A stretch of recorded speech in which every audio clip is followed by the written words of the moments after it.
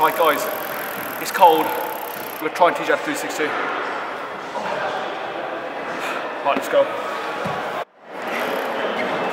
Can't that really hurt? Okay, so I'd probably say learning the 360, you must have a pretty good idea on how to jump out of a ramp. Do you know what I mean? Just like getting enough height, so I'll show you that first.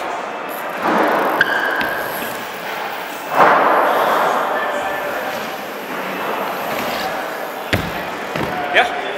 So, if you can do that, because you do need quite a bit of height to be able to get the 360 round, because a lot of people, what they'll do is just like go up, but not have enough height, but they'll land 180, and then they think, oh, I can't do it. So you need to go up more, just pedal as fast as you can.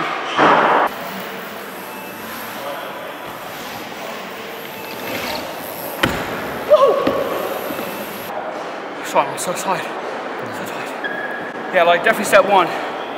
Try and get as much speed as you can and try and get out the ramp as hard as you can. Step two, you need to be spinning with the ramp. Like, you need to like spin your hips into it and your head. Does that make sense? So you spin with your hips and your head. So as I'm spinning around, just say for instance, if the landing's there and I'm taking off this way, I'll spin all the way around and then move my head as well with it. Then I'll watch the landing. The 360 is probably just in the head, isn't it? Just got to spin around and look where you landed. So I'll do it again. So just watch my head. Step two, use your hips, spin with your head and watch the landing and you will spin around.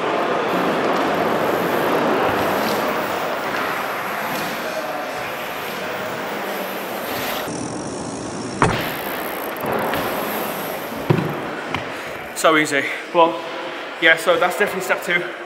Spin your hips, spin your head, and watch the landing. A lot of kids will probably just do this.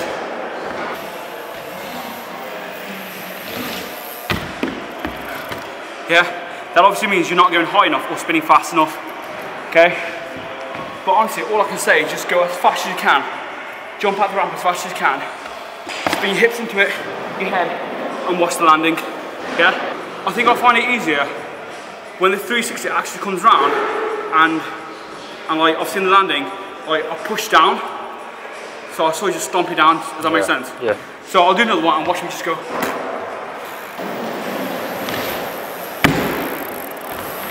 That definitely does help, like just pushing in the ramp. Uh, yeah, so that's really it, isn't it? Yeah. It's that simple. Step one, pedal as fast as you can, come out the ramp as fast as you can.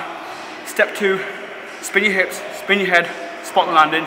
And step three, push hard on the landing, stick it. Yeah? Yeah. That's simple, guys.